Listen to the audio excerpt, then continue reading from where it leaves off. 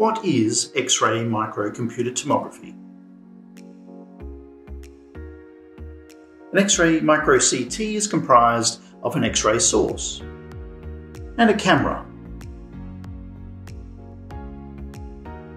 The source generates an X-ray beam, which passes through the sample.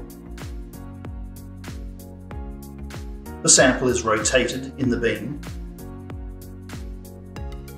the sample absorbs X-rays. This X-ray projection is captured by the camera. A series of single radiographs is collected as the sample rotates.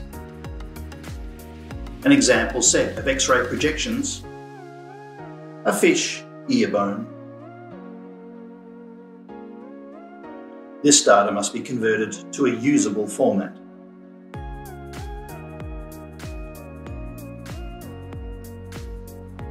Computational reconstruction converts the projections into a tomogram.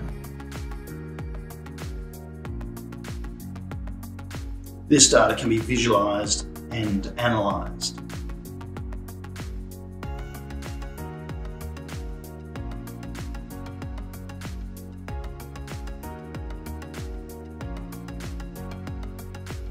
X-ray micro-CT is non-destructive conducts scans at room temperature and atmospheric pressure, generates a 3D dataset, and can achieve micrometer scale resolution.